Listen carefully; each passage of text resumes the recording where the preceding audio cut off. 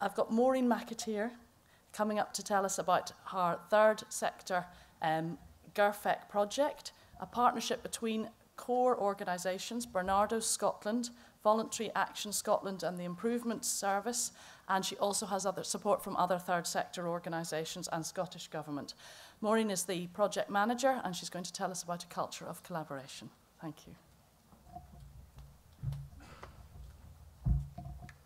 I'm the woman who stands between all of you and your lunch, unenviably. Um, so I was asked to come along today and talk about a culture of collaboration. And to be honest, a, a more honest uh, working title for this would be a shameless pitch for the third sector, for us all to be working much more closely in partnership with each other. So, I'm going to do a wee bit of scene setting because our work is wider than just GIRFEC. It's actually about children's services planning. So it feeds into a lot of the complex landscape of our service delivery across Scotland. And really, despite the complexity, there's a high level of consensus about the direction of travel that we're going in the country. And this is commonly called the Scottish approach. And really, it encapsulates the principles from the Commission on the Future Delivery of Public Services, which you'll all probably know as the Christie Commission. And the Christie Commission had called for a radical new collaborative culture throughout public services and stressed the need for us to build our infrastructure with and around children, families and communities to achieve better outcomes.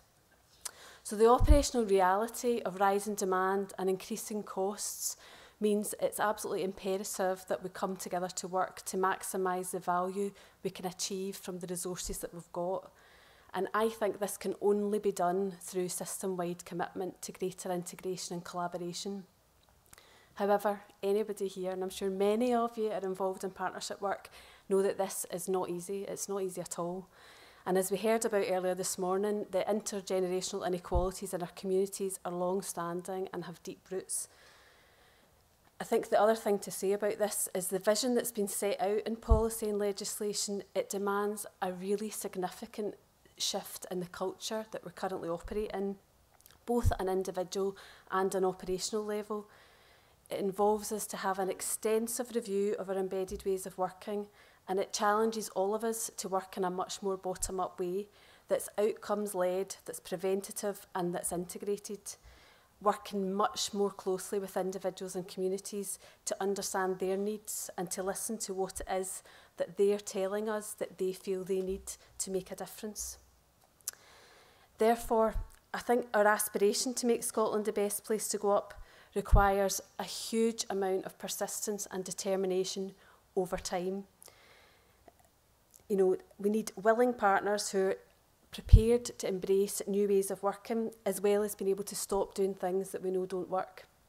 And, you know, this is very, very difficult to do because we've all been attached to ways of working and think that, you know, projects that we've been involved in that we think are good, but there's actually no evidence of improvement in the outcomes of people who we're serving.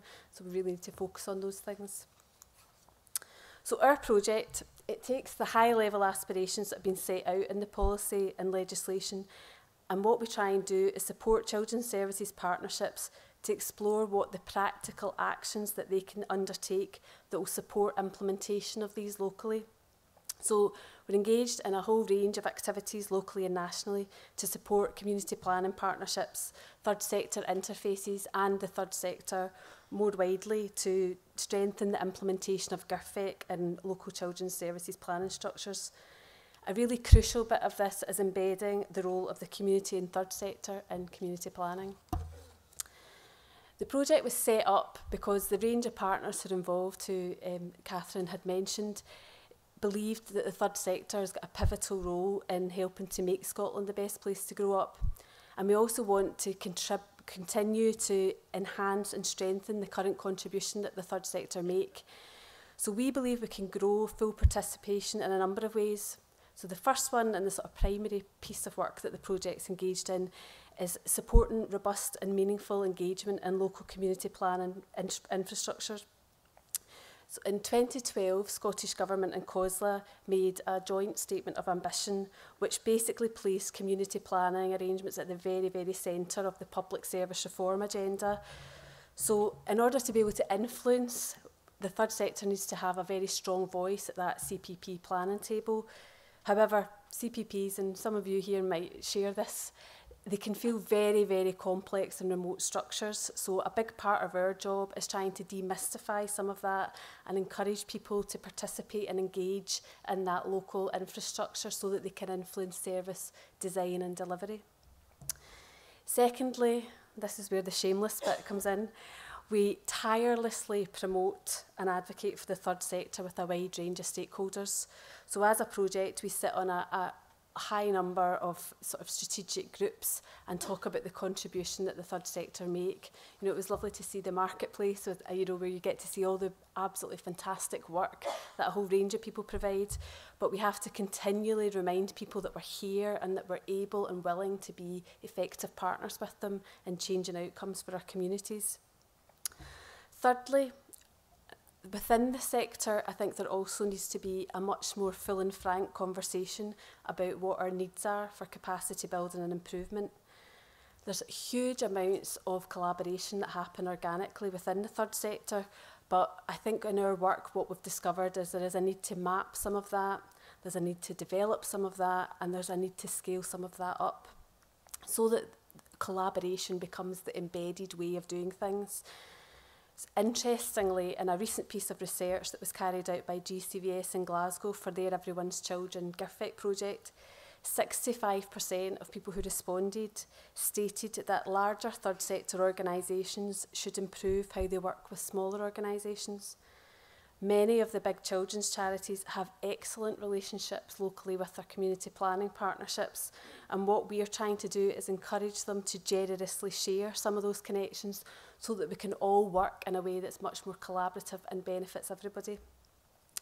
So alongside this dialogue with the larger charities, we also work in partnership with Voluntary Action Scotland, who are one of our public social partnership partners, and we also try and offer support to all the TSIs across the country who have responsibility for supporting the third sector, large and small, um, to effectively engage with community planning. I'm not going to do a history of TSIs, you'll be delighted to know, but the important thing for you to know is that these are relatively new structures, so they're still growing and evolving and learning themselves.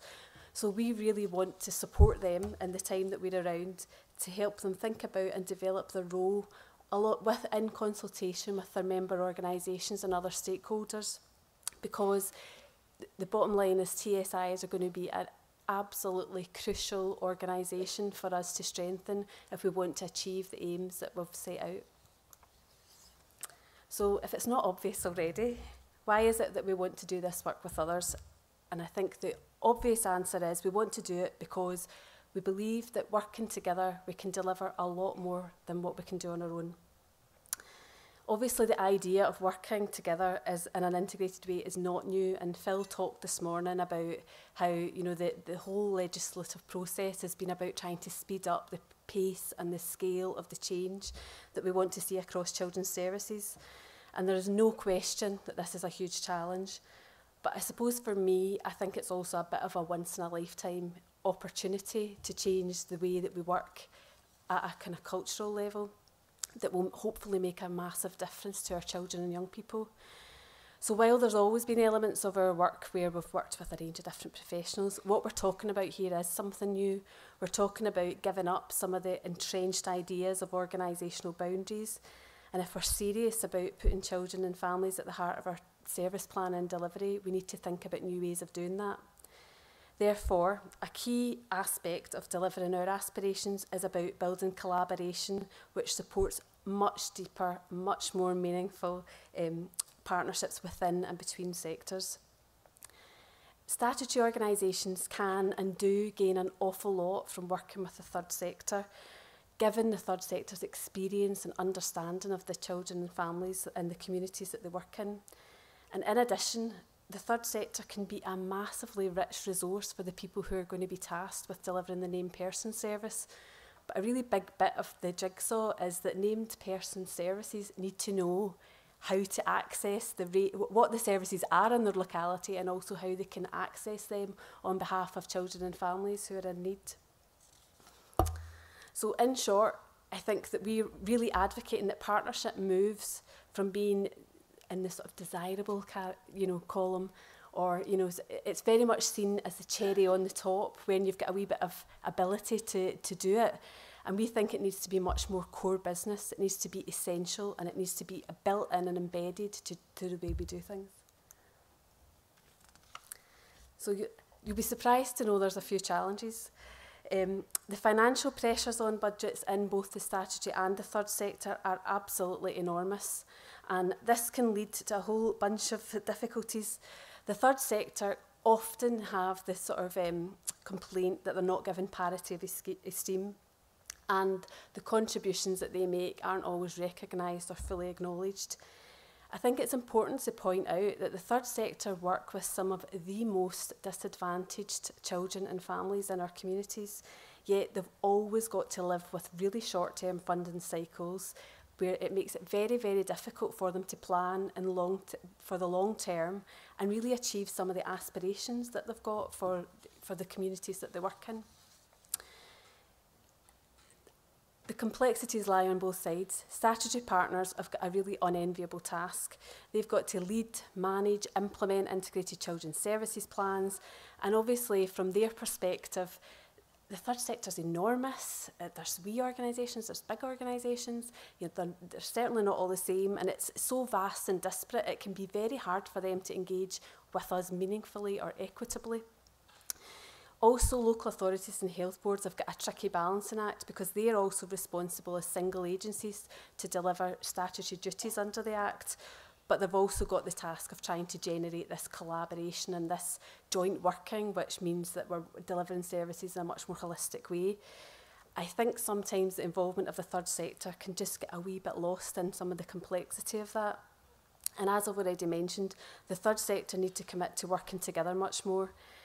Sowing the seeds of partnership is always difficult, but it's especially difficult in the current climate of you know reducing resources.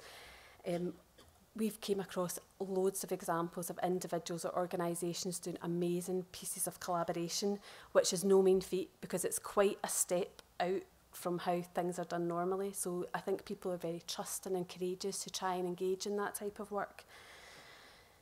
I think everybody understands there is absolutely no alternative to putting aside the, the, the sort of um, short-term competitive for the long-term goals, but we definitely need some help from our statutory colleagues because the way procurement and commissioning work, it actually drives competition rather than complementing each other. So we would really like to see a shift in that.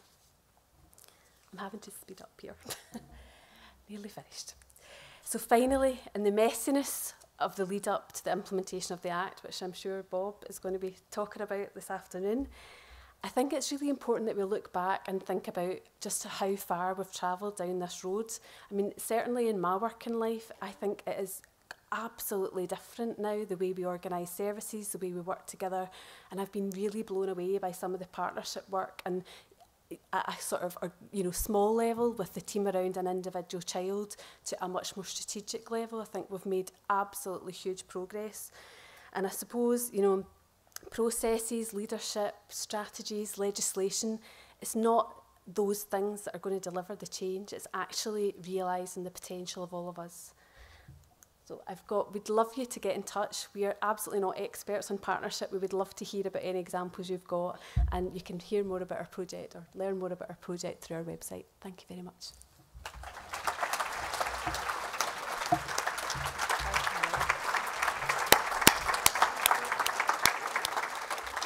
Thank you very much, Maureen. And um, I think that the, the whole of us coming together in this room rather sums up your, your phrase, Maureen, that we can achieve much more together than we can if we're all working individually.